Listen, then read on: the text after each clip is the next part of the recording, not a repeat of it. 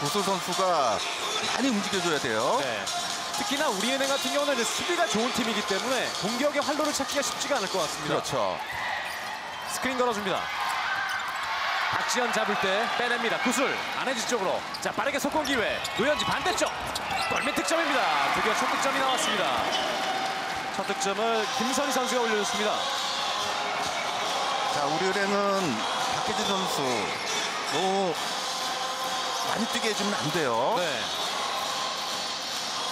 베이스라인 쪽 박혜진 안혜지를 상대로 post up 자세인데요. 신장 차이가 있습니다. 그대로 던져봅니다. 리바운드 김소니아 공격 리바운드를 잡아냅니다.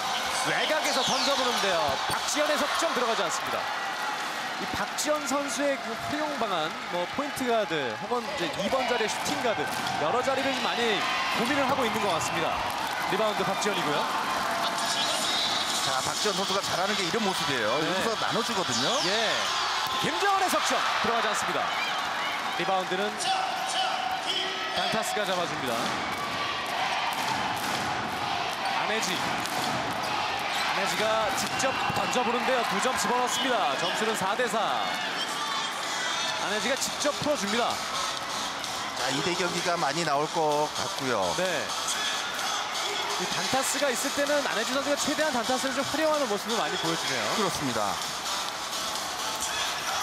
김정은 빼주고요. 이번엔 먼 거리인데요. 그레이 깨끗합니다.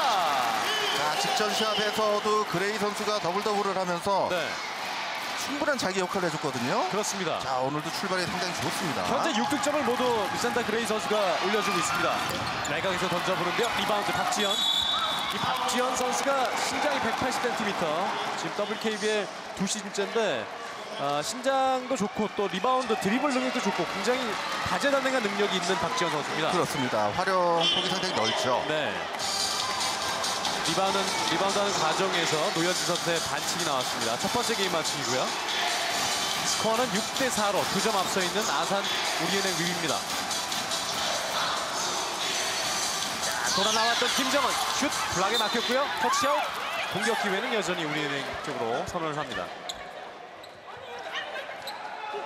단타스는 상대 선수 맞았다는 항의를 해보는데요. 그대로 우리은행의 공격입니다.